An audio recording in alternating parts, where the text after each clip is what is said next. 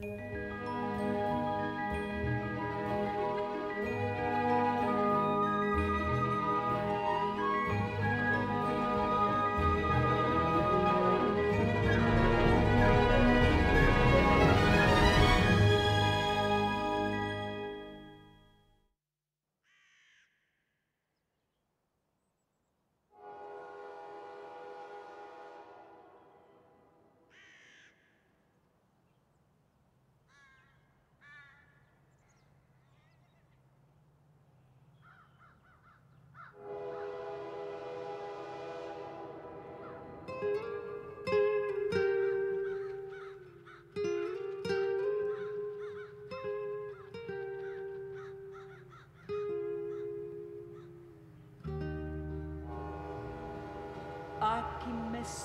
siento a cantar con cariño verdadero.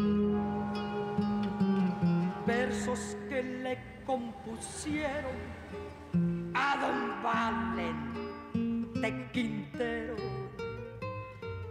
Eran las diez de la noche, llegaron unos señores. Se bajó su carrillera con sus cuatro cargadores. La querida le decía, Valente, ¿qué vas a hacer? El mayor anda borracho, algo te ha de suceder. Valente le contestó, no te quedes con pendiente.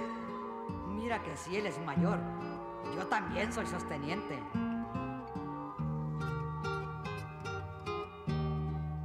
El mayor anda borracho por las cantinas tomando. La música era de bien. Soll ich mal fahren, Henk? Nein, nein, kein Problem. Ich bin mal einhändig durchs halbe Land gefahren. Habe ich Ihnen schon von diesem Südstaatenkopf erzählt? Ja. Der Blödmann saß mir 20 Meilen lang im Nacken und wollte mich dann links überholen. Er wusste aber nicht, dass ich ein Kopf war und einen 6 Liter Kompressormotor unter der Haube hatte. Ich gab Gas, dann fuhr mit dem Redneck das Rennen seines Lebens.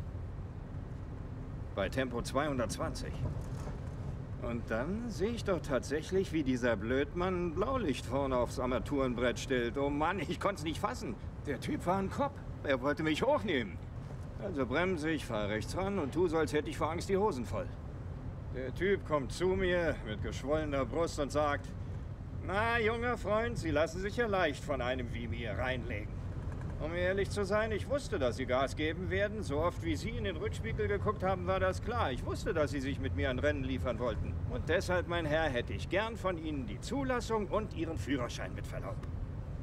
Als ich daraufhin meine Marke raushole, scheißt er sich fast in die Hose. Ich müsste Sie eigentlich festnehmen, Sir. Sie haben das Leben eines Detectives gefährdet. Wissen Sie, manchmal bin ich mir nicht sicher, wer schlimmer ist. Wir Cops oder die Kriminellen. Der L40 ist jetzt eine L44, Havenhurst. Zwei Streifenwagen sind bereits am Tatort. Hab verstanden. Wie war die Adresse nochmal? Crystal 105, kurz vor La Mesa, von der. Zwei Streifenwagen sind schon vor Ort. Okay, wir fahren hin. Was ist ein E44? Ein L44 heißt, dass jemand tot ist. Richtig tot, also mausetot. Verstehe, dann wird's jetzt ernst, okay.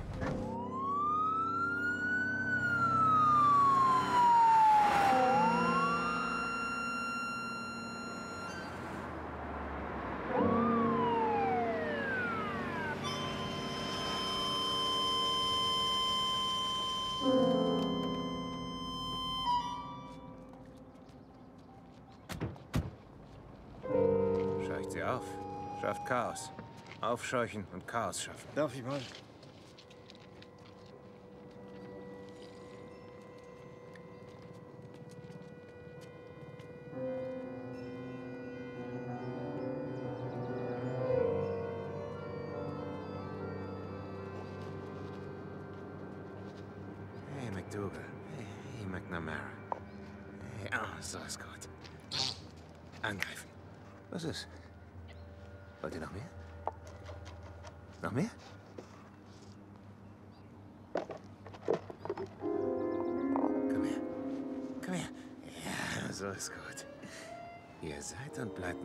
Meine tuntigen Adler.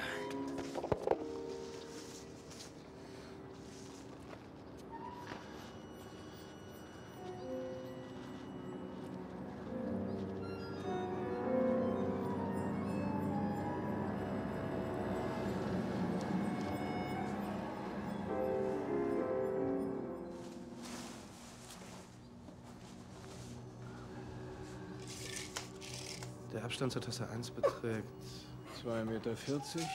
2,40 Meter südlich von der nördlichen, Nein, da ist Norden. oh, westlich, Korrektur, westlich von der östlichen Wand. Die zweite Tasse steht Das war 1,83 Mrs. Meter. McCallums. 1,83 Meter südlich von der nördlichen. Das war Mrs. McCallums Ah, ja, Tasse. Sie hat auf dem Stuhl da gesessen. Die dritte Tasse steht 30 Zentimeter westlich von der zweiten Tasse. Ich habe gleich Zeit für Sie. Es bleibt festzuhalten, dass der Kaffee in allen drei Tassen noch lauwarm ist. Uhrzeit morgens 7.45 Uhr. Gary, haben Sie schon die drei Tassen hier fotografiert? Ja, habe ich. Gut, dann nehmen Sie die zu den Beweismitteln. Alles klar.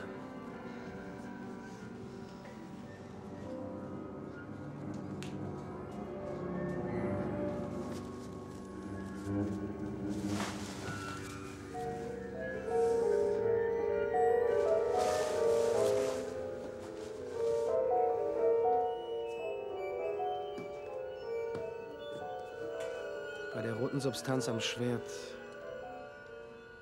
handelt es sich um Blut.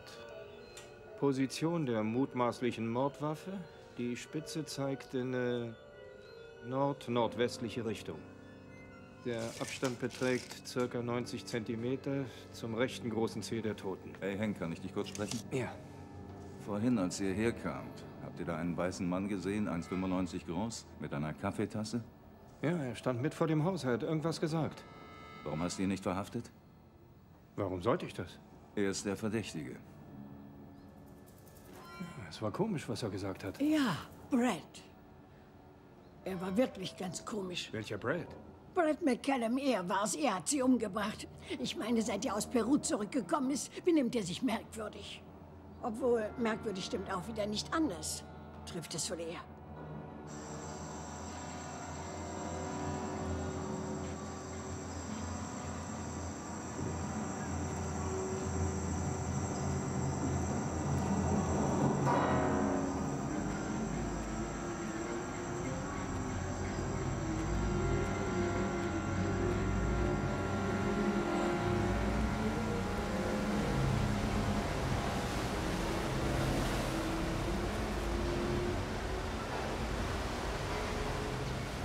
Ist gerade Regenzeit.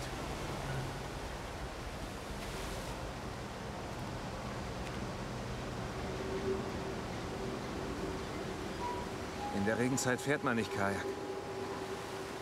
Kein Mensch. Kein Mensch tut das. Das ist ja gerade der Kick. Ich würde sagen, wir sehen mal ein Stück flussabwärts nach, wie es da ist. Ja? Hey, hör auf zu meditieren, okay? Mach die Augen auf. Hier, dieser Fluss. Das ist die Wirklichkeit. Ich will von euch, dass ihr nachdenkt und dass ihr mit schlüssigen Argumenten kommt.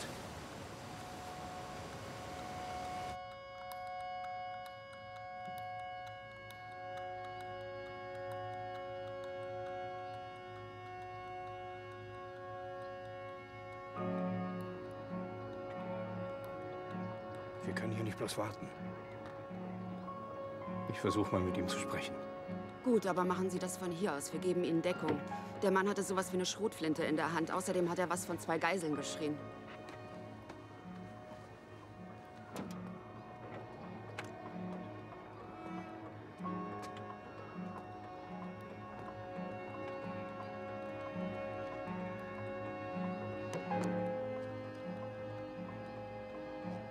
Mr. McCallum? Mr. McCallum? Können wir uns kurz unterhalten?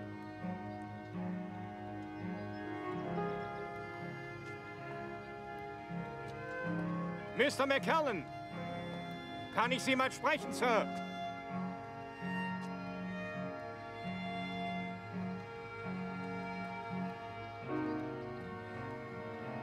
Mr. McCallum, kann ich Sie mal kurz sprechen? Würden Sie dazu bitte rauskommen? Nein! Nein! Kommen Sie doch rein, wenn Sie mit mir reden wollen! Ich denke, ich weiß, wie wir ihn kriegen. Wir müssen uns bei ihm einschmeicheln. Mit Compadre oder sowas. Compadre? Ja, ja. Ich würde sagen, er ist Ihre. Von mir aus auch Schotte. Mr. McCallum! Darf ich Sie Brad nennen? Nennen Sie mich Brad!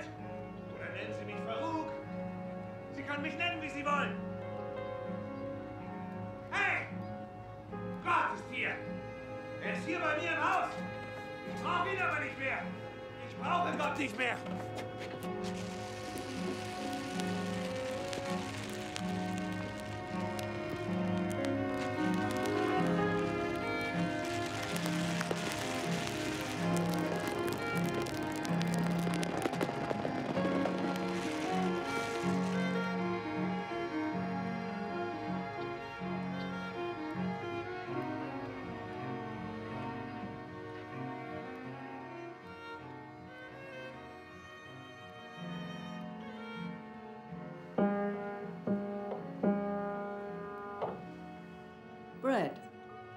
Du hast mir jahrelang in den Ohren gelegen, ich solle dir diesen Flügel kaufen.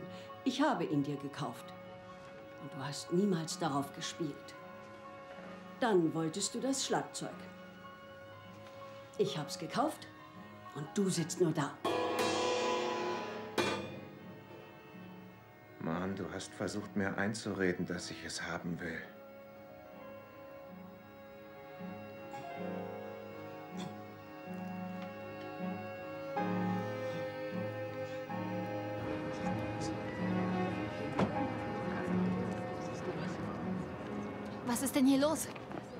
Es gibt ein Problem mit einem der Anwohner. Ich muss, ich muss zu dem Haus der McCallums. Tut mir leid, ich darf niemanden durchlassen. Aber Officer, das ist Ingrid Gudmundsen, seine Verlobte. Wessen Verlobte? Brad McCallums. Das ist der im Haus. Brad hat mich angerufen. Vor einer halben Stunde. Es klang dringend. Ist ihm etwas passiert? Ich bin seine Verlobte und kann vielleicht helfen. Detective Havenhurst? Ja. Ich habe hier eine Frau, die sagt, sie sei die Verlobte des Verdächtigen. Sie soll nicht weggehen. Ich bin sofort bei ihr. Soll ich mitkommen? Nein.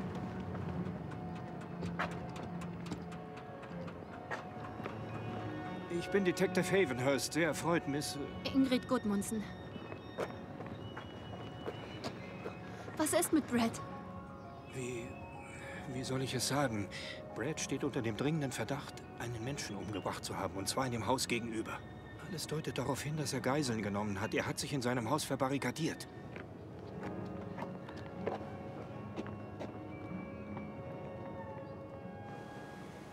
Ich ähm, will Sie nicht beunruhigen, Miss Gudmundsson, aber das Ganze ist etwas seltsam. Er sagt, sein Name wäre Farouk. Er faselt etwas von Gott und wirft Haferflocken raus. Wie gesagt, ziemlich seltsam. Wissen Sie, warum er das tut? Tja. Ich. Wo soll ich anfangen?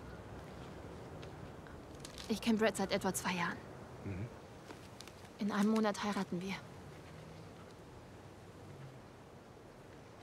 Vor, vor einem Jahr, er kam gerade aus Peru zurück. Da nannte er sich manchmal, naja, eben Farouk.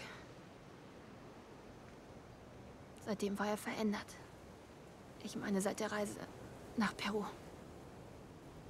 Ist dort in Peru irgendetwas passiert? Ja. Ich meine, nicht direkt mit ihm. Er war dort mit Freunden. Sie fuhren Kajak. Wildwasserkajak und...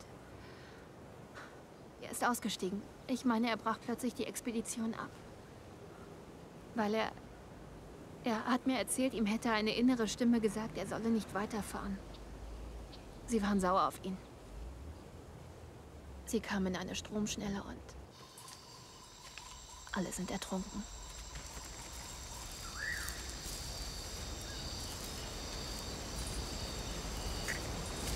Boom!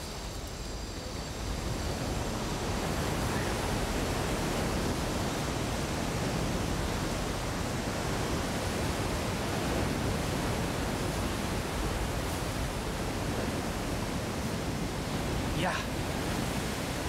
Ja.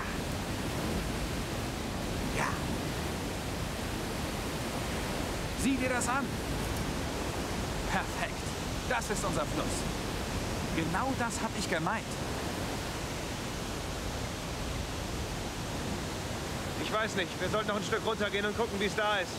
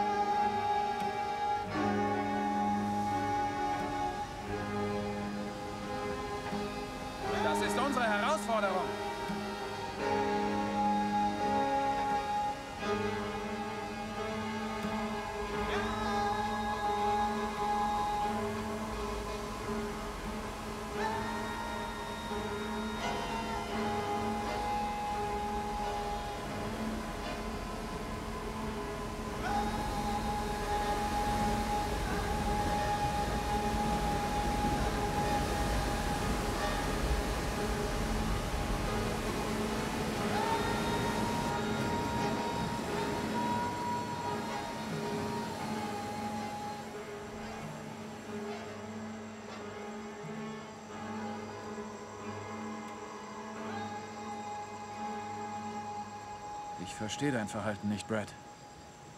Willst du kneifen oder was? Die Sache ist ziemlich einfach. Ich werde diesen Fluss nicht hinunterfahren. Was ist los mit dir? Ab heute nehme ich nicht mehr eure Vitamintabletten.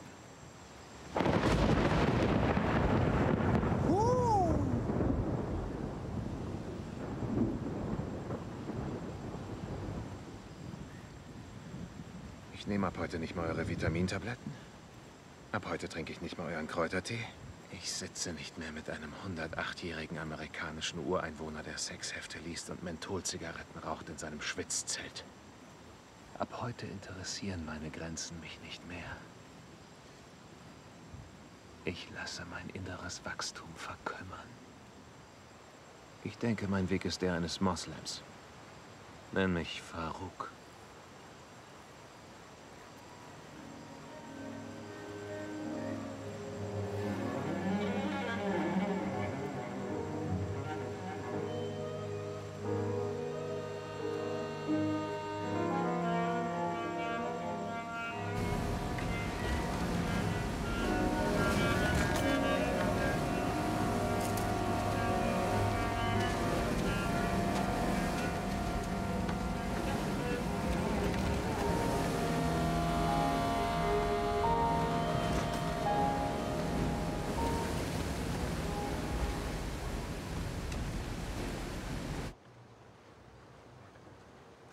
Ist ein völlig anderer Mensch.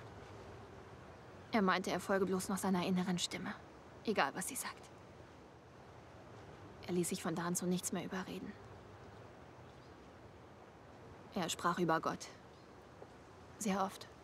Dass er ihn gesehen hätte.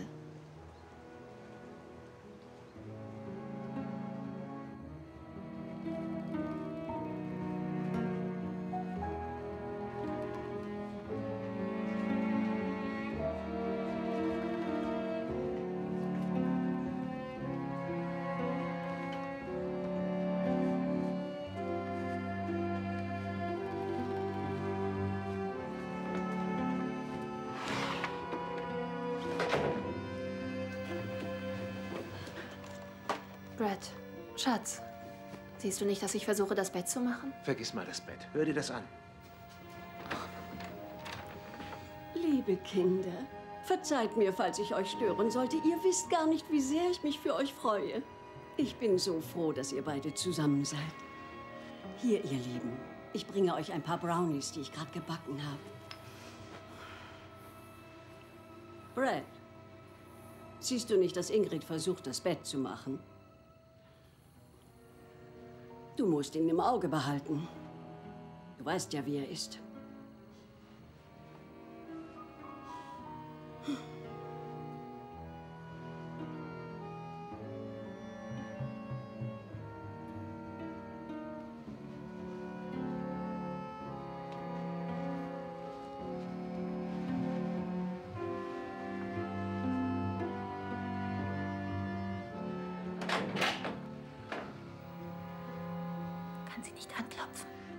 Das anhören. Ich will mir das nicht anhören. Jetzt hörst du mir mal zu. Du musst endlich hier ausziehen. Du bist zu alt, um dir von deiner Mutter Sachen zum Anziehen kaufen oder Plätzchen bringen zu lassen. Okay, sie, sie, sie meint es, meint es nur. Etwas für die Nacht.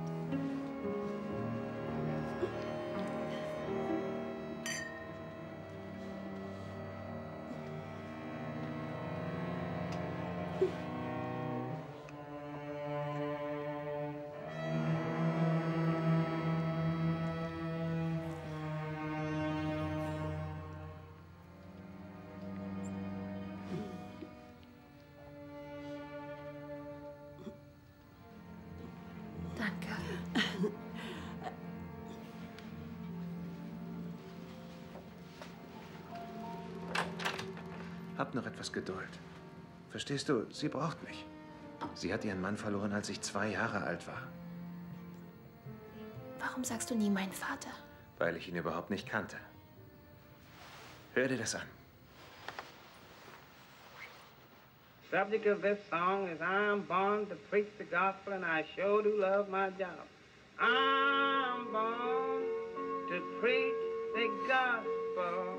I'm Das ist es. to preach the gospel. Das ist es, was ich meine. Das ist das Wahre, verstehst du? Ich meine. Das ist er.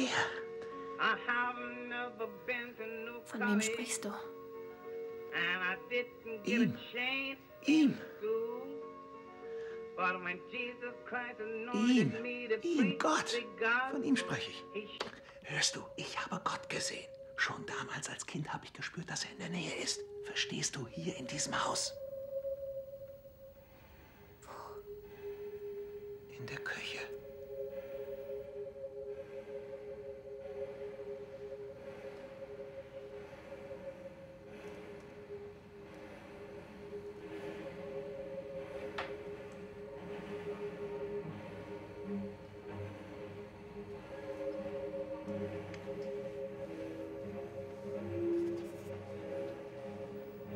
Das ist er. Das, das ist Gott. So sieht er aus. Siehst du? Das ist das Antlitz Gottes. Siehst du, wie gütig er ist?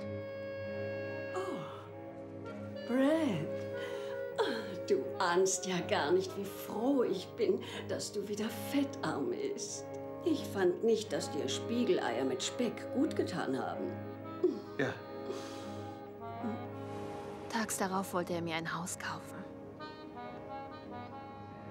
Dieses dort. Ich sagte zu ihm, Brad, das Haus steht nicht zum Verkauf. Da ist er einfach ein Haus weitergegangen zu dem da. Dann kaufe ich dir eben das da. Brad, Schatz, ich, ich... Ich weiß, du meinst es gut, aber ich will hier nicht wohnen. Das ist viel zu nah an deiner Mutter dran. Wir müssen unser eigenes Leben leben.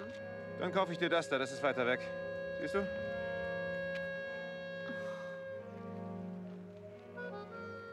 Ich weiß nicht. Was ist mit dem da? Nein. Brad, wovon willst du das überhaupt bezahlen? Du hast doch gar nicht so viel Geld. Ich werde es besorgen. Brad, das Haus kann man genauso wenig kaufen. was soll's?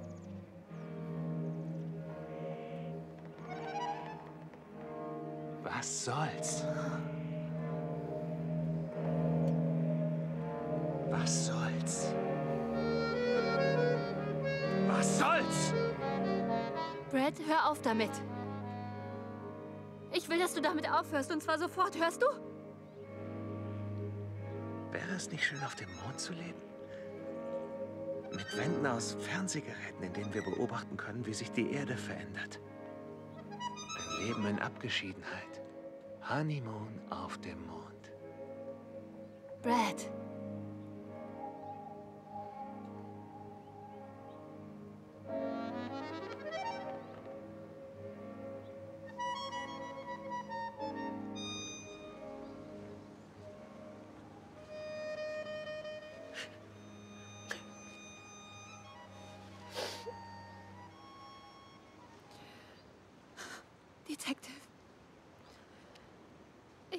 Sie, wieso sollte er so früh aufstehen? Von mir verlangen, sofort hierher zu kommen und dann auf die andere Straßenseite gehen und Nachbarn angreifen, die er nur flüchtig kennt? Miss Gudmundsson, ich muss Ihnen etwas mitteilen. Hier geht es nicht um einen Angriff auf Nachbarn. Er hat auf seine Mutter eingestochen. Und sie ist tot. Seine Mutter?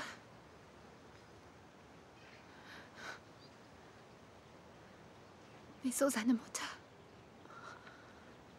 Wieso? Das, verstehe ich nicht. Er hat sie geliebt, sehr sogar.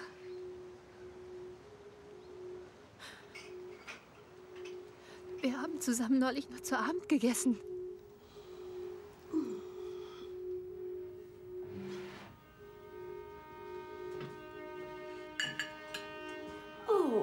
Hat denn da nicht aufgegessen? Nur noch ein Oh klein nein, bisschen. Mom. Wir wollen doch, dass die Sonne Nein, danke, ich habe schon Eine zweimal.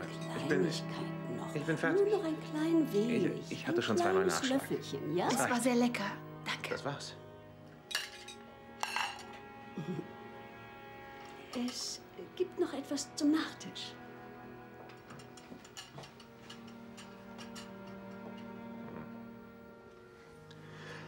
Na, hoffentlich ist es kein Wackelpudding.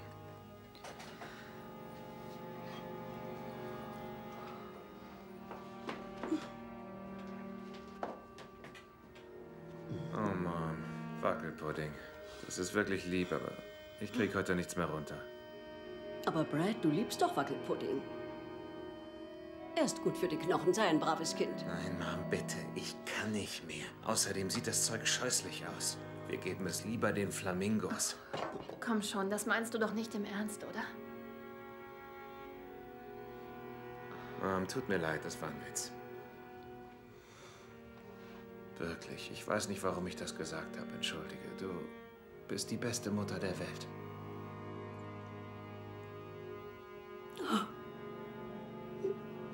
Brad, ich wünschte, dein Vater wäre noch am Leben und könnte hören, was du sagst. Heute führe ich meine beiden Lieblingsfrauen aus. Wir brettern mit 150 Sachen über die Coronado Bridge. Du weißt doch, dass ich das nicht mag. Du fährst immer zu schnell. Weißt du, letzte Nacht, da bin ich mit etwa 210 über das Ding gerast. Ich wollte mir vorkommen wie in Star Wars, auf der Fahrt durch das finstere Tal des Todes. Piu, piu, piu, piu,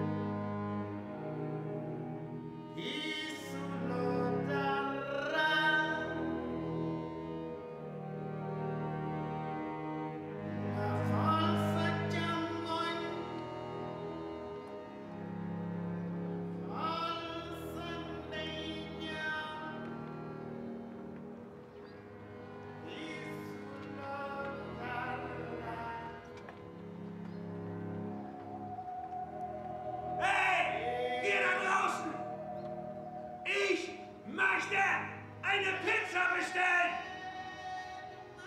und sorgt dafür, dass mir ein Auto nach Mexiko bereitgestellt wird, das groß genug ist für mich und meine beiden Geiseln.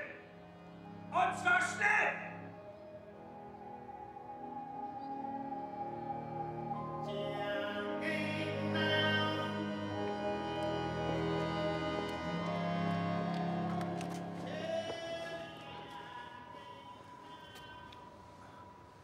Pizza kommt gleich. Ich hätte eine Idee.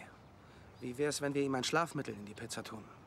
Wenn wir Chili drauf machen, schmeckt er's nicht. Danke, Vargas, aber das funktioniert nicht. Sie sehen zu viel fern. Und was machen wir mit dem Fluchtauto? Der Klassiker. Wir spielen auf Zeit. Und ich glaube nicht, dass er wirklich Geiseln bei sich hat. Wen könnte er denn meinen? Wir haben die Nachbarn gefragt, aber von denen ist das keiner. Da hinten sind zwei Männer, die hierher wollen. Einer mit einer Pizza, der andere kommt aus Los Angeles. Er sagt, Brad hätte ihn heute Morgen angerufen. Heißt dieser Mann Myers? Ja, Lee Myers. Ich kenne den Mann. Wir haben zusammen ein Theaterstück geprobt.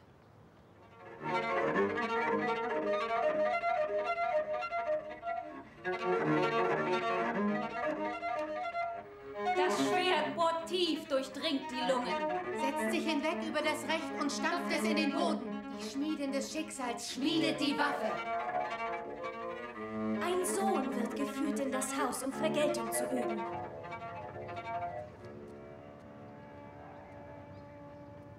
Bleiben Sie da stehen. Stopp.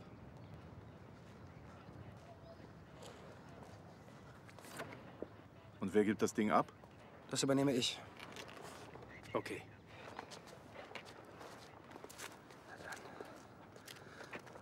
Ihre Waffe. Zeigen Sie ihm Ihre Waffe. Okay. Mr. McCallum, ich habe hier. Mr. McCallum, Ihre Pizza. Mr. McCallum! Ich habe hier Ihre Pizza! Sehen Sie meine Waffe? Mr. McCallum! Sehen Sie meine Waffe?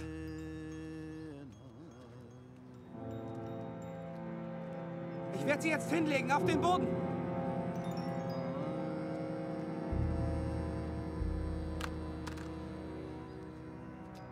Ich bin jetzt unbewaffnet. Garage! Wie bitte? Zur Garage! Okay. Alles klar. Ich bin unbewaffnet. Ich komme jetzt näher. Wo soll ich sie hinstellen? In die Mitte! Hier in die Mitte! Okay. Okay. Vorne! Ich, ich stelle die Pizza jetzt ab. Ich stelle sie jetzt ab. Näher ran! Okay. Zurück, gehen Sie zurück! Gehen Sie zurück! Okay, ich bin weg.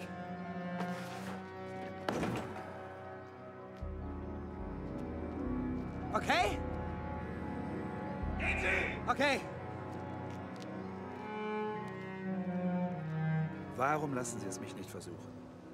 Ich bin sicher, dass er mich reinlässt, dann kommen wir beide raus. Er würde auf mich hören. Er würde auf mich hören.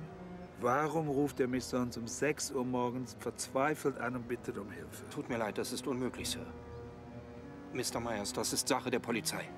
Wir haben es zudem mit einer Geiselnahme zu tun, bei der vor Ort eine Spezialeinheit das Kommando hat. Aber vielleicht darf ich Ihnen ein paar Fragen stellen, wenn Sie erlauben. Der Anruf heute Morgen, warum hat er Sie angerufen? Um was ging es? Er war verzweifelt und bat mich zu kommen, und zwar sofort, weil etwas wirklich Furchtbares passieren würde. Er sagte zu mir, Lee, sämtliches kristallisiert sich zu einem Wort. Jetzt. Er sprach klar, er sprach laut, er sprach emphatisch. Er sagte, er wäre ein führerloser Zug. Und dann sprach er plötzlich von dem Schwert, welches Brad in unserem Stück als Requisite benutzt hat. Brad hat damit seine Mutter getötet. Großer Gott.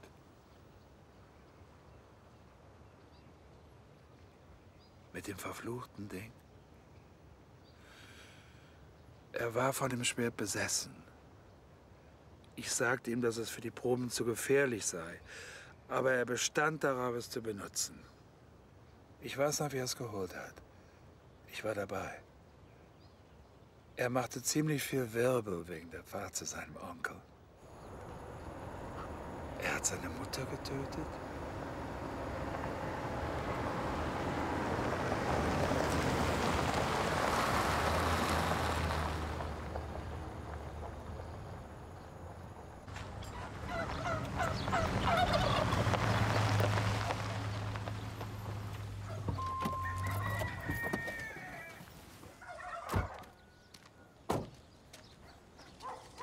Hey, Onkel Ted.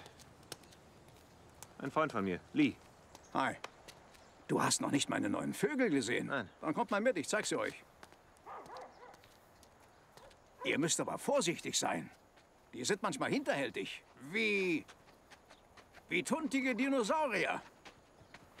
Hattest du nicht gesagt, dein Onkel hätte eine Hühnerfarm? Hatte ich. Ich glaube, mein Onkel hat das größte Huhn der Welt gezüchtet. War es? Es war das Größte.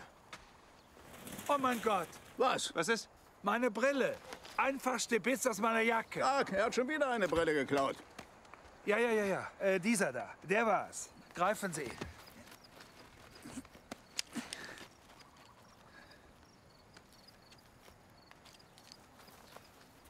Das ist ja widerlich.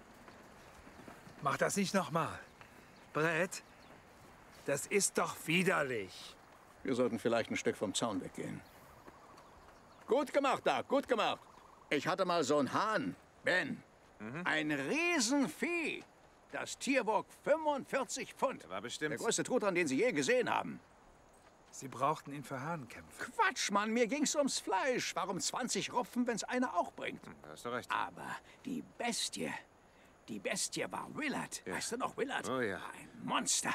Ja, sie wurden zu groß, zu gemein, zu gefährlich. Dieser Willard konnte zutreten. Der war böse.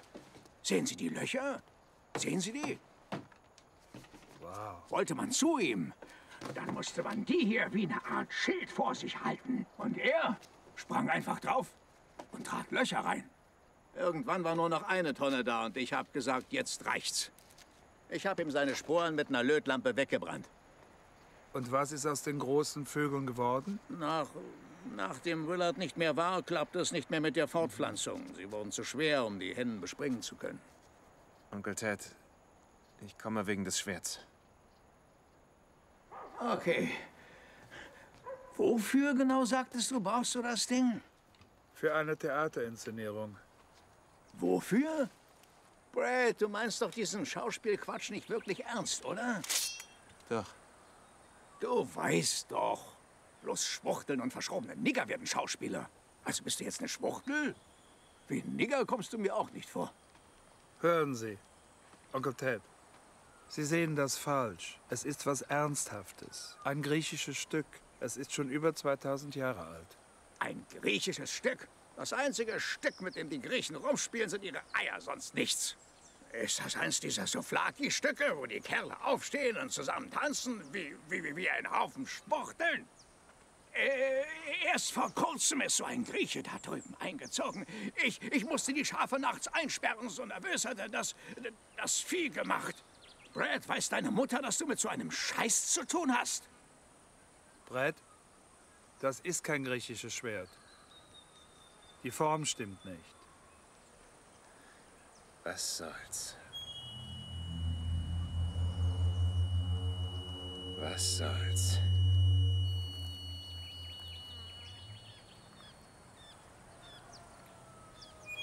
Was soll's?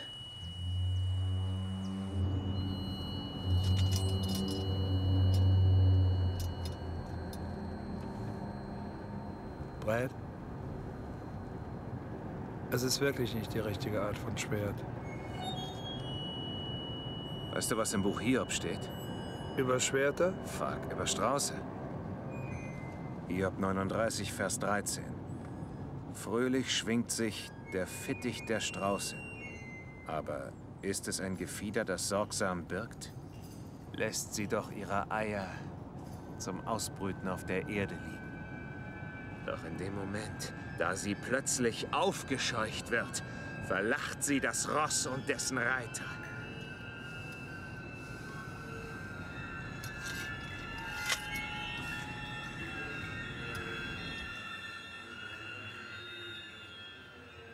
Er war ein Störfaktor und streitsüchtig. Aber was sollten wir machen? Er war nun mal, wie er war. Er war sehr begabt, äußerst talentiert. Er machte dennoch eine Menge Probleme. Ich will es mal so beschreiben. Die alten Griechen waren nicht nur ein Haufen Philosophen und Ästheten, die herumgeschwafelt haben. Vielmehr ging es ihnen um das Wesentliche. Wie ich vorhin schon gesagt habe, wir haben es mit einer Trilogie zu tun. Fassen wir zusammen. Der König kommt aus Troja zurück und wird von seiner Frau ermordet. Im Anschluss kommt der Sohn nach Hause, um des Königs Tod zu rächen und bringt seine Mutter um. Der Fluch, der auf diesen Menschen lastet, hat eine Vorgeschichte. Das Töten zieht sich durch Generationen. Orest ist lediglich das letzte Glied in einer blutigen Kette. Alles beginnt mit Tantalos, der seine Strafe seit Ewigkeit in der Hölle verbüßt. Von den Göttern an einen Felsen gekettet, verzehrt er sich nach Trauben, die unerreichbar für ihn sind. Auf ihn bezieht sich das Wort Tantalusqualen. Er ist die Wurzel unseres eigenen Fluches, wenn wir etwas begehren, was wir jedoch nicht haben können. Er hat die Götter herausgefordert, dieser Tantalos. Er wollte sehen, ob sie auch echt waren. Also lud er sie zu einem Mahl ein. Um sie auf die Probe zu stellen, servierte der Mann seinen jüngsten Sohn. Die Götter erbrachen Pelops Fleisch, damit dieser weitere Kannibalen und Mörder zeugen konnte. Wie sein Sohn Atreus, der den Sohn seines Bruders Thyesses kochte und dann seinen Bruder zu einem Festmahl einlud. Damit will ich sagen, um Orest und diesen Fluch verstehen zu können, müsst ihr spüren, welche Last auf diesem verfluchten Haus der Tantaliden liegt. Einer Dynastie skrupelloser Könige und teuflischer Königinnen, die sich gegenseitig fressen und die Frauen der Verwandten vögeln. Jahrhundert um Jahrhundert, Generation um Generation. Und nur Orest vermag den Fluch aufzuheben.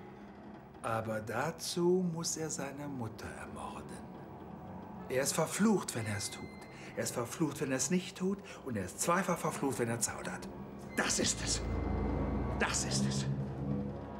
Sie aufscheuchen. Chaos schaffen. Aufscheuchen und Chaos schaffen. Ich bin der Regisseur, Brett. Du tust, was ich sage. Manche Menschen schauspielern nur, andere spielen eine Rolle.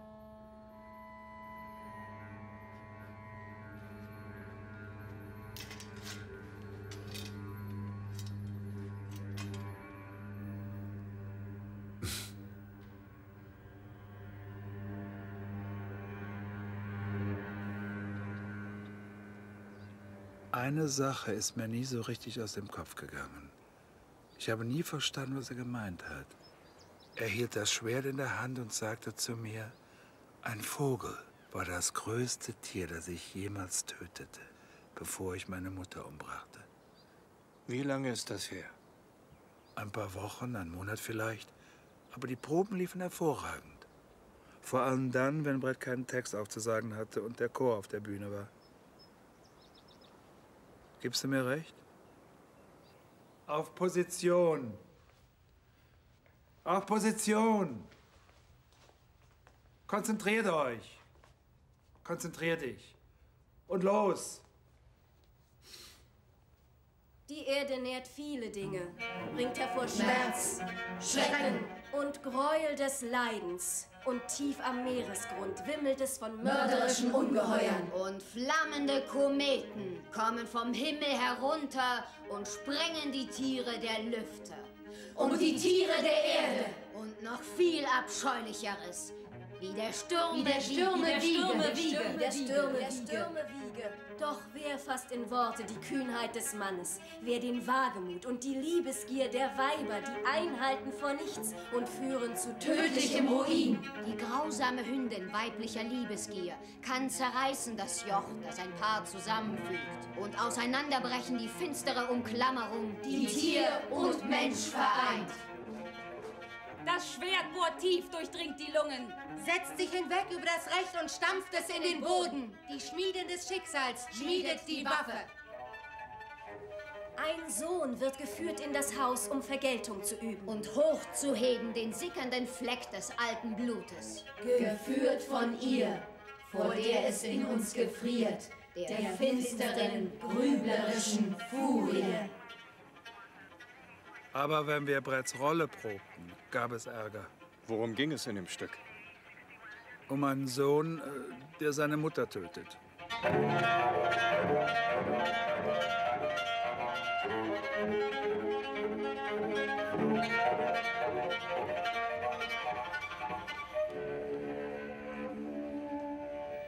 Sohn, so willst du morden? Deine eigene Mutter? Oh nein, du tötest dich selbst. Du, nicht ich. Hüte dich vor deiner Mutter grimmem Höllenhund. Ich muss mich schon vor des Vaters Hunde hüten. Tat sie es oder tat sie es nicht? Bezeuge es hier. Dieses Gewand. Sie färbte es im Blut, das um ihres geliebten Schwert geflossen. Fred, das ist kein griechisches Des Gewand. Mordes Blutfleck stimmt zu seinem Alter wohl. Dermaßen weggefressen hat es des Purpurs Farbe. Hier stehe ich nun und bin erfreut, im Wahn durchs Blut, lobpreisend, jammernd. Hör mich an, gewebtes, vatermordendes Werk, du. Stopp, stopp, Brett. Es reicht, es reicht. Du hast 100 Zeilen übersprungen. Aber so ergibt es mehr Sinn. Wirklich. Du stehst da und sagst deinen Text auf, mehr nicht. Du spielst gar nicht. Ich hatte dir doch gesagt, dass du dich bewegen sollst. Lee, ich muss dir etwas sagen über Basketball. Wir alle wissen, dass du ein guter Spieler warst. Nein, warte. Ich war etwas zu klein für das Spiel, deshalb war ich der klassische Distanzschütze. Der, der die Dreier wirft. In einem Spiel ist es passiert. Ich bekomme den Ball zugespielt, springe hoch, gucke und merke oben in der Luft, dass ich knapp vor dem Mittelkreis bin, 15 Meter vom Korb entfernt. Und ich darf nicht mit meinen Füßen den Boden berühren. Das wäre ein Schrittfehler. Also muss ich werfen. Ich bleibe in der Luft stehen und plötzlich bleibt alles um mich herum stehen. Und ich werfe. Es war weniger ein Wurf, eher ein Stoß. Und der Ball ging sauber rein. Nein, nein, der Ball flog an den Ring und fiel dann irgendwie rein. Es reicht jetzt, Brett. Das ist lächerlich. Ich denke, ich habe ihn gefunden. Wen? Ich habe den Ruhepunkt gefunden. Den verborgenen Dreh- und Angelpunkt der Welt.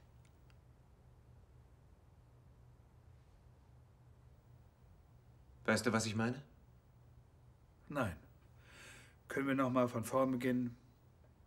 Bitte. Der Chor, bitte. Kommt schon. Schneller, schneller. Jeder auf Position, auf Position. Konzentriert euch. Ein griechisches Stück. Fangt an. Die Erde nährt viele Dinge, bringt hervor Schmerz, Schrecken und Gräuel des Leidens. Und tief am Meeresgrund wimmelt es von mörderischen Ungeheuern. Und flammende Kometen kommen vom Himmel herunter und sprengen die Tiere der Lüfte und die Tiere der Erde. Und die Tiere der Erde. Und noch viel abscheulicheres, wie der Stürme, Wie der Stürme, der Stürme, der Stürme, wie der Stürme, der Stürme wiege. Doch wer fasst in Worte die Kühnheit des Mannes? Wer den Wagemut und die Liebesgier der Weiber, die einhalten vor nichts und führen zu tödlichem Ruin? Die grausame Hündin. Der Hahn, der Reiter! Ein Mann auf einem Hahn! Der apokalyptische Reiter! Der Hahn, der Reiter! Der apokalyptische Reiter. Oh nein, nicht der Reiter, der Besitzer. Dieser hinterhältige Besitzer wollte mir das Pferd nicht überlassen. Stell dir vor, es ist nicht Winter. Wir haben eine andere Jahreszeit. Dieses, dieses Pferd ist voll ausgewachsen. Ah. Und dieser kleine Typ sollte es reiten. Das kleinste Pferd der Welt. Und dann sollte ihn Willard Mein Hahn. Um den höchsten Baum jagen, den es auf diesem verdammten Planeten gibt. Dicen que por las noches nomás se le iba en puro llorar. Dicen que no Die Sache ist die, der Hahn wäre größer als der Reiter und das Pferd gewesen. Das klingt ja fantastisch. Ja, sie wollten sogar einen Spot drehen. Das hätte eine Menge Geld gebracht. Glaub mir, es wäre toll gewesen. Ein Spot wofür? Woher soll ich denn das wissen? Aber es wäre doch toll gewesen.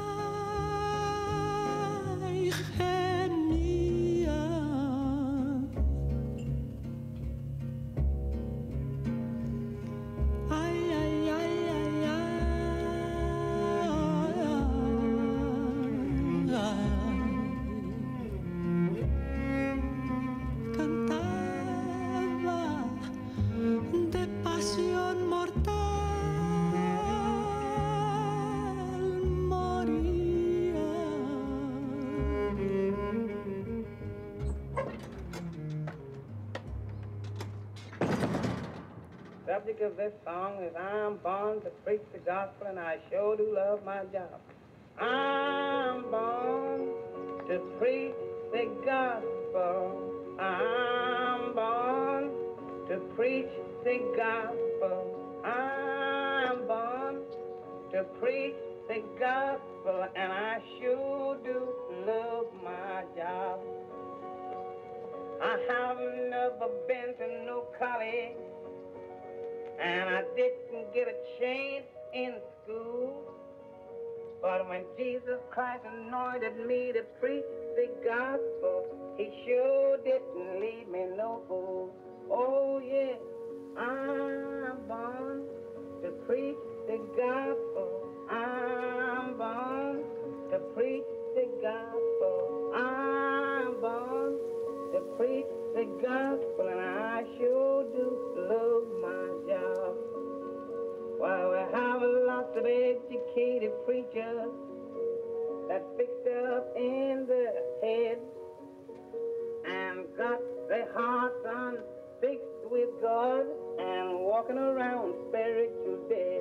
Oh, yeah, I'm born to preach the gospel. I'm born to preach the gospel. I'm born to preach the gospel, and I sure do love my job. Hey, Detective, sehen Sie sich das an!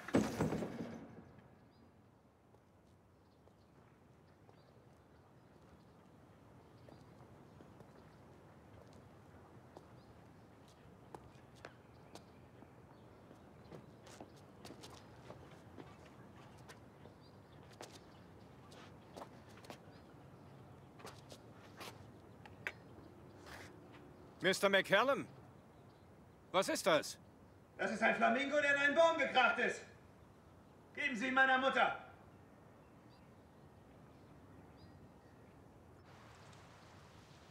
Er sprach oft von seiner Mutter. Mr. Myers, bitte. Hier ist es sicher. Ah ja, verstehe. Er war von ihr besessen.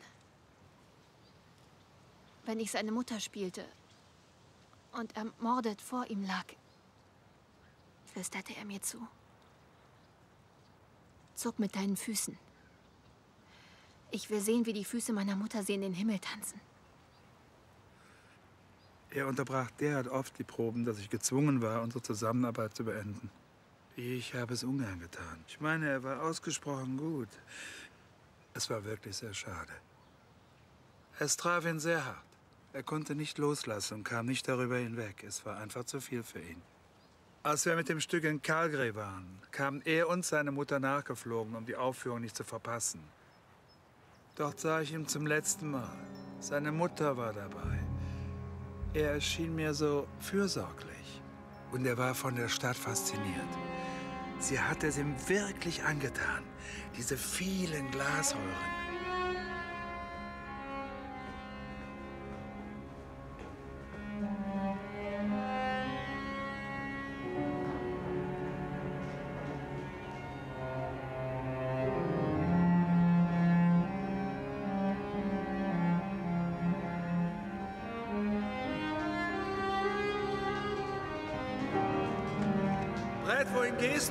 Machst du da? Ah!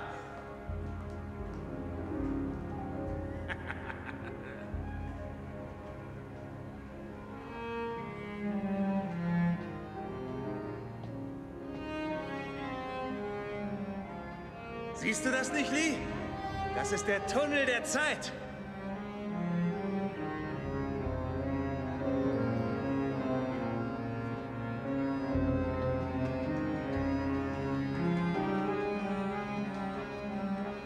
Das nicht die perfekte Bühne für ein kosmisches Melodram?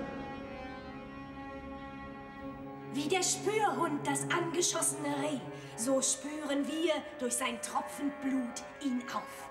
Ich keuche vor Erschöpfung von der langen Mühe des Menschenabschlachtens. Der Erde ganz Revier ist abgegrast, verfolgt und flügellos flog ich immer weiter über die Meere. Und nun ist dieser Mann in der Nähe, irgendwo kauernd. Der Geruch von Menschenblut lacht mich an mit betörender Kraft. Sucht, sucht, sucht, sucht, sucht, sucht, überall. Schaut überall nach, in jede Himmelsrichtung. Lasst ja nicht diesen Muttermörder ungestraft entkommen. Tag, hier stehe ich nun und bin erfreut, im Wahn durch das Blut, lobpreisend, jammernd. Ich Ich erschlug sie, Kein kein Wort darüber leugne ich. Hör mich angewebtes, vatermordendes Werk, du. Dieses Gewand, sie färbte es im Blut, das um ihres geliebten Schwert geflossen. So sag uns, wie du diese Tat vollbracht. Das Schwert in der Hand schlug ich ab den Kopf ihr.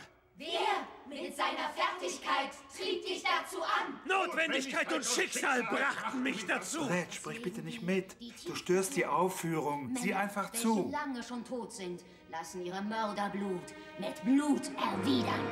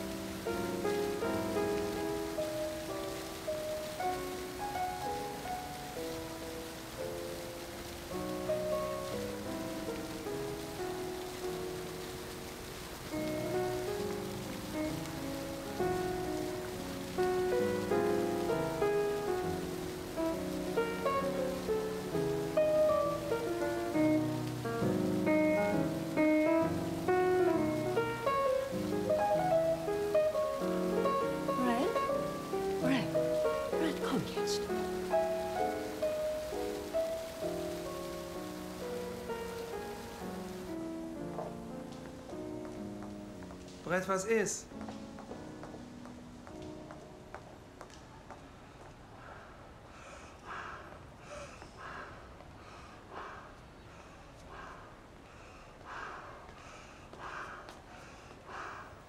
Brad?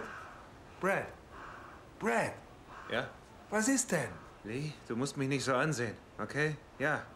Ich geb's zu, ich habe in letzter Zeit viel geweint. Komisch ist nur, die Tränen kommen bloß aus meinem linken Auge, niemals aus dem rechten. Wieso ist das so?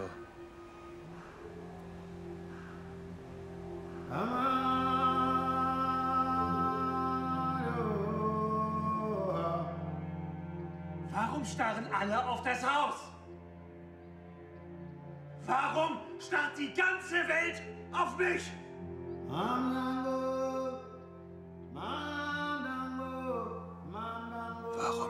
Starren die Berge auf mich? Warum schauen die Wolken auf mich herab? Warum sehen die Wolken mich an? Warum starren alle auf mich? Warum starrt die ganze Welt auf mich?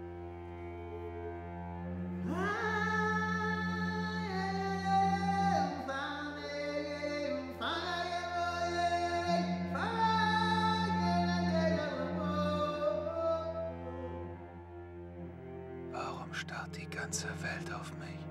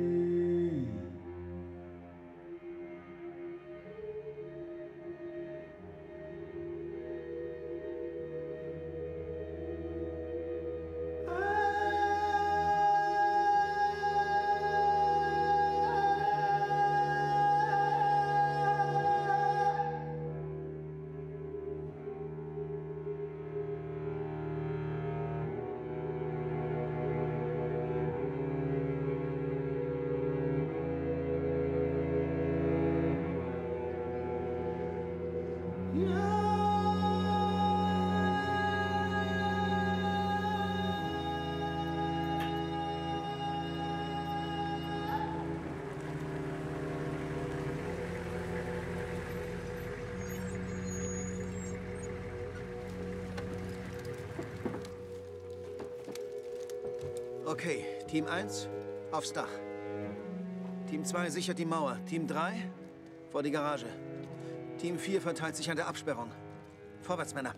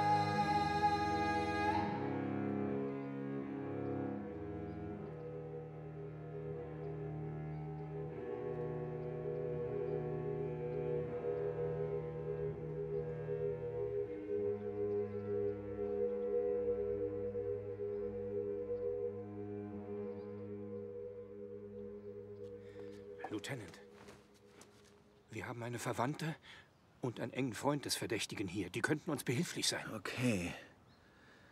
Ähm, bringen Sie sie zum Wagen. Ich komme gleich. Joe, halt mich auf dem Laufenden. Ja.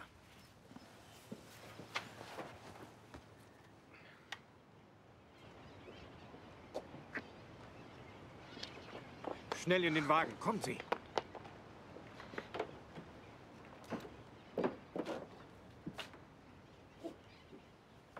Hey, ich bin Lieutenant Brown. Ma'am?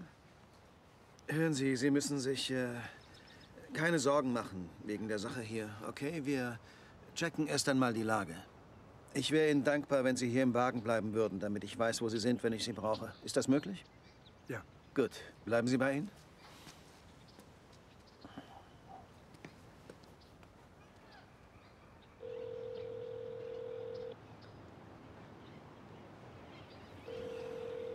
Immer dasselbe Spiel. Es klingelt 30 Mal, doch er nimmt nicht ab. Lassen Sie mich da reingehen. Ich, ich könnte mich ihm als Geisel anbieten. Zum Tausch zum Beispiel. Nein, auf gar keinen Fall. Ich, ich krieg das hin, ich krieg Das das, verstößt hin. gegen die Vorschrift. Das hier ist meine Show. Ich bestimme. Entweder Sie kapieren das oder Sie bleiben hinter der Absperrung. Haben wir uns verstanden?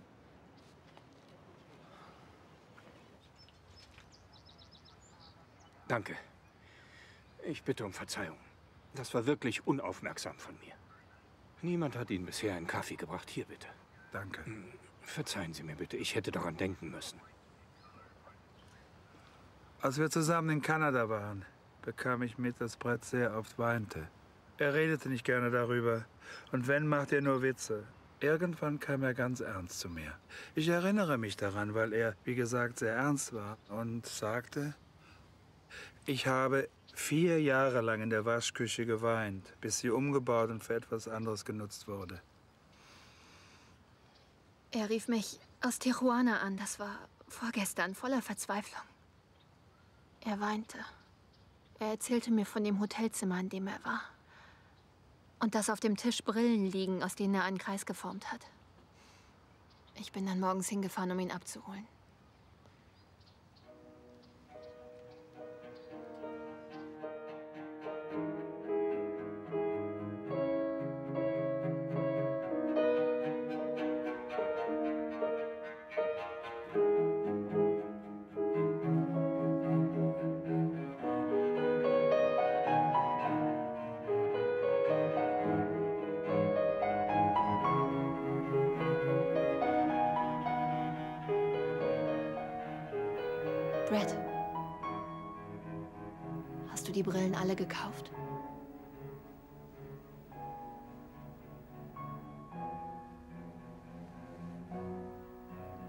Kannst du mir erklären, wozu du die Brillen so hinlegst,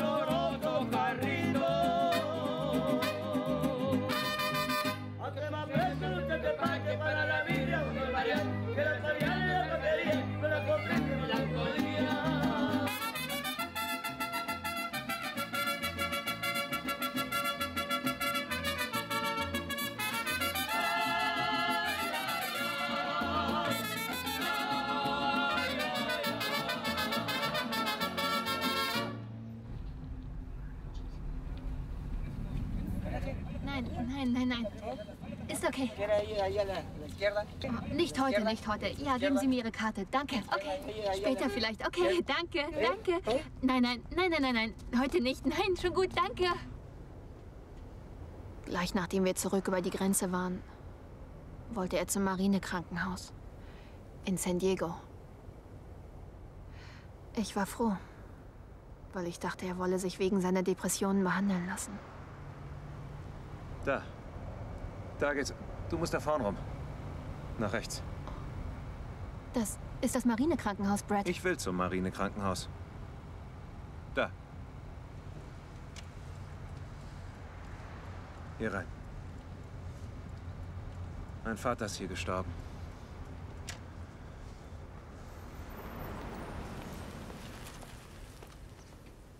Sir? Ich möchte bitte zu den Kranken. Sir, zu wem wollen Sie? Den Kranken. Den Kranken generell. Oh, zum General. Äh, ich bin nicht sicher, ob er da ist. Bitte stellen Sie Ihren Wagen da vorne ab, Sir.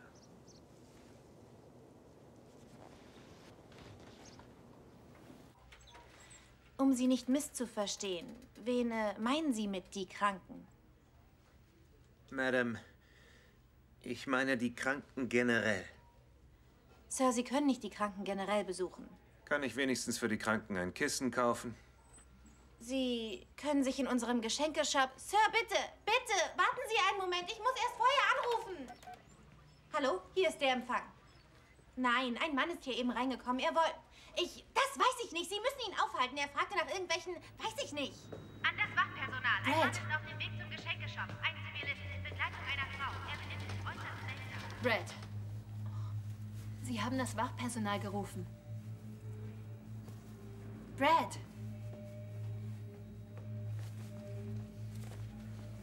Brad, lass uns. Wir gehen jetzt, okay?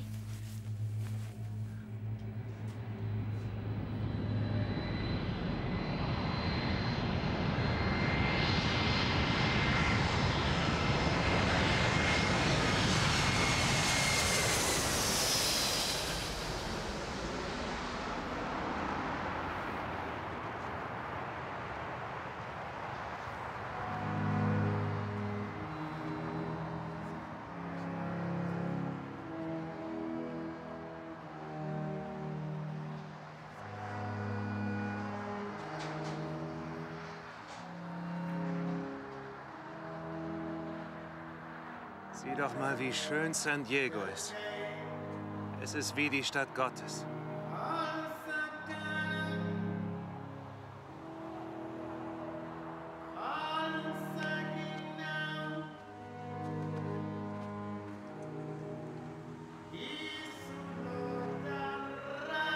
Willst du den Ball hier lassen? Ja, ich hoffe, ein junger, talentierter Spieler findet ihn.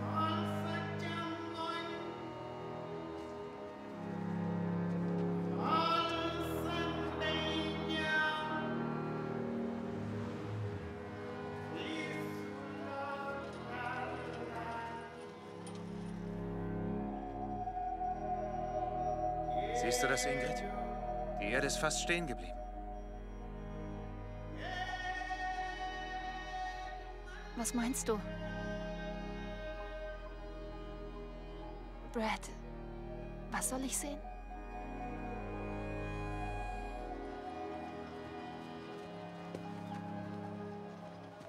Verzeihen Sie, Sir. Ich würde Ihnen das hier gern geben. Ihren Rucksack? Ja, als Geschenk. Ich bestehe darauf. Nein. Bitte. Was soll ich denn damit anfangen? Nehmen Sie ihn einfach. Er ist super. Hier sind überall... Sehen Sie? Oh, Moment. Das hier will ich behalten. Aber der Rest bleibt drin. Okay? Nein, nein, Sie Ich können doch nicht. Ich weiß nicht. Viel Spaß damit. Danke. Okay. Äh, Brad, deine Brillen sind da drin. Das macht nichts. Ich brauche sie nicht zum Lesen. Ich folge einfach der inneren Stimme. Sich von seinen Sachen zu verabschieden tut so gut. Und dann? Nach dem Balboa Park sind wir nach Hause gefahren. Zu mir nach Hause. Das war gestern. Er schlief den ganzen Tag durch. Nachts dann wurde er unruhig. Er redete auf einmal von Maschinen. Wie sehr er sie hasst. Und dann hielt er alle Uhren an und zog den Stecker vom Kühlschrank raus. Dann verließ er das Haus und demolierte sein Auto. So stark, dass ich Angst bekam. Irgendwann kam er wieder rein. Und am Arm das Kissen. Er sah mich auf eine Art an, wie er es vorher noch nie gemacht hat. Da bekam ich wirklich Angst. Ich sagte zu ihm, Brad, ich möchte, dass du jetzt gehst. Und ohne ein Wort ist er auch sofort gegangen.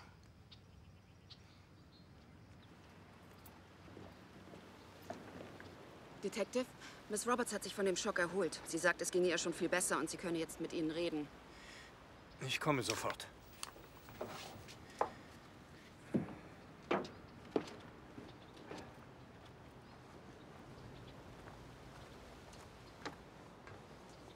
Miss Roberts, weiß, dass es nicht leicht für Sie ist.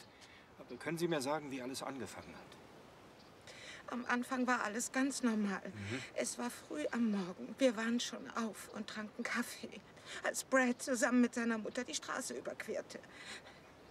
Obwohl sie ging voran und er ist ihr gefolgt. Mhm. Sie ging ziemlich schnell. Meine Mutter bot ihren Kaffee an. Sie hatte gespürt, dass Mrs. McCallum mit ihr etwas besprechen wollte. Sie sagte zu mir, geh raus mit Brad und zeig ihm deinen Garten. Also sind wir beide raus und ich zeigte ihm meine vertrockneten Blumen und die sandige Erde.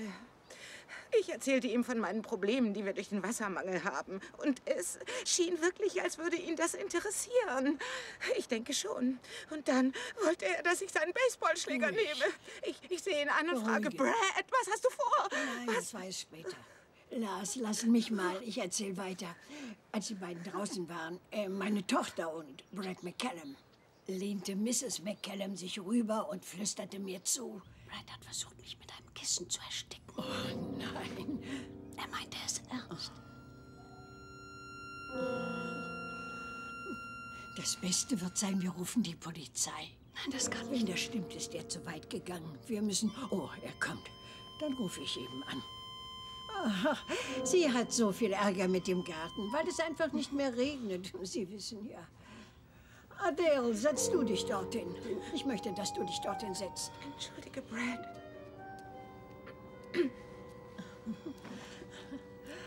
Möchtest du einen Kaffee, Brad? Reich mir deine Tasse rüber. Nein, nein. Ich würde gern meine eigene Tasse holen. Ohne meine Lieblingstasse fängt der Tag für mich nicht gut an.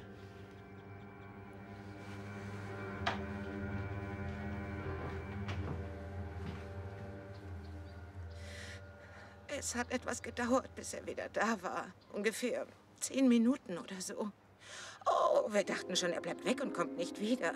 Wir sprachen gerade darüber, was wir machen, von wegen Polizei oder nicht, als Brad mit seiner Kaffeetasse hereinkam.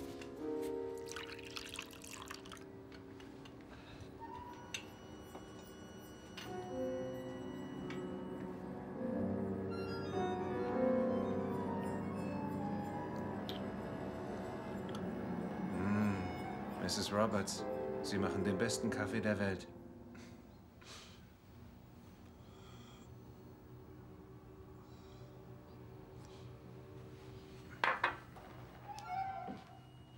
Mein Gott, wohin geht er?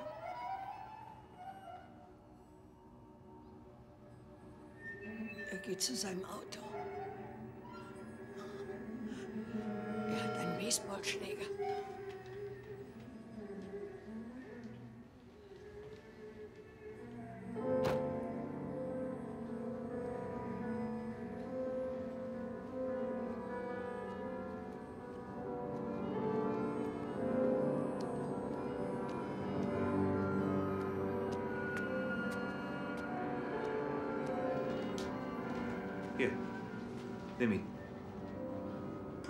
Soll ich damit? Schlag mich. Was? Töte mich, bevor es passiert. Töte mich, bevor es passiert. Töte mich. Was ist los mit dir? Töte mich!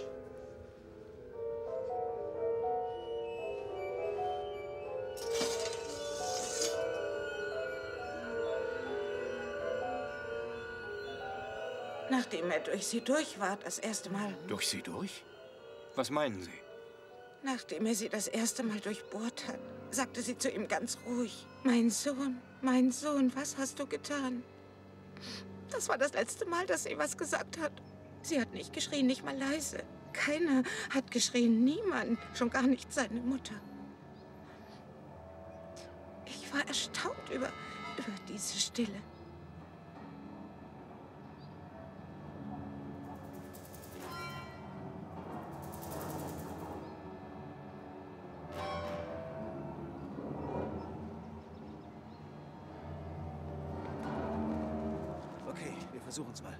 Kann's losgehen? Bleiben Sie hier stehen und spielen Sie nicht den Helden. Brett? Ich bin's. Lee. Ich komme direkt aus L.A. Ingrid steht hier neben mir. Ich bin hier, Brad. Brett, Glaub mir, es wird alles gut. Ich verspreche es dir. Hörst du, dir wird nichts passieren. Aber du musst rauskommen, Brett. Brett, es bringt nichts, die Geißeln zu behalten. Wirklich nicht. Lass sie frei. Ja! In einer Minute, Lee. Ich füttere sie gerade.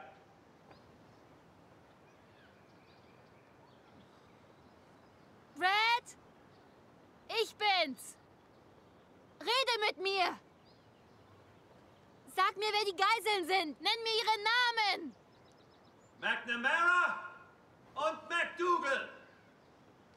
Oh mein Gott. Das sind Flamingos. Seine Vögel! Was heißt hier Vögel? Das sind meine tuntigen Adler. Ist ja, ist ja gut. Na kommt schon, raus mit euch. Ich hasse es, dass die Sonne in meinem Osten aufgeht. Polizei, keine Bewegung! Nehmen Sie die Hände hoch. Drehen Sie sich mit dem Gesicht zur Wand. Legen Sie die Waffe langsam auf den Boden. Und jetzt? Kommen Sie rückwärts auf mich zu. Noch weiter. Noch ein Stück. Langsamer. Noch ein bisschen. Stehen bleiben. Auf die Knie. Die Hände an den Kopf.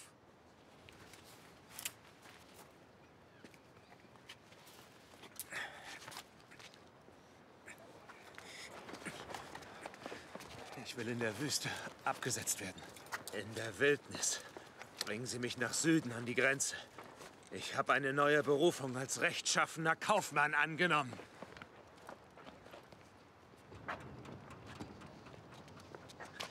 Hi, Ingrid. Hi, Lee. Gespräche mit dem Verdächtigen sind untersagt. Treten Sie bitte zurück. Darf ich Sie um einen Gefallen bitten, Sir? Würden Sie freundlicherweise zwei Dinge in Ihren Bericht aufnehmen? Erstens, vergesst Flamingos. Ich sehe Strauße. Ich sehe Strauße rennen.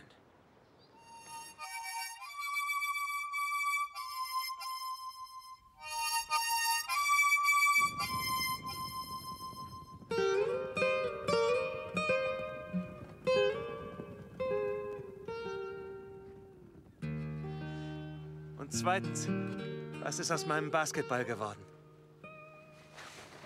Gabino Barré no entendía razones andando en la borrachera. Cargaba pistola con seis cargadores. Le daba gusto a cualquiera. Gabino Barrera, con más de mil hombres, se levantó por la sierra. Su causa era buena, pelear por los pobres y repartirles la tierra. Usaba el bigote grandote atufado, su paño rojo enredado. Vestido de manta habló con madero, traía arriscado el sombrero. Sus pies campesinos usaban guaraches y a veces a raíz andaba. Pero aunque pisara sobre los guisaches, sus plantas no se espinaban. Gavino Barrera, igual que Zapata, quería repartir las tierras. Por eso peleaba y entraba en batalla, sonando sus carrilleras. Recuerdo la noche que lo asesinaron a un lado de Tlapeguala 18 descargas de Mauser sonaron sin darle tiempo de nada. Gavino Barrera, con todo y caballo, cayó con la balacera. La cara de ese hombre revolucionario quedó besando la tierra.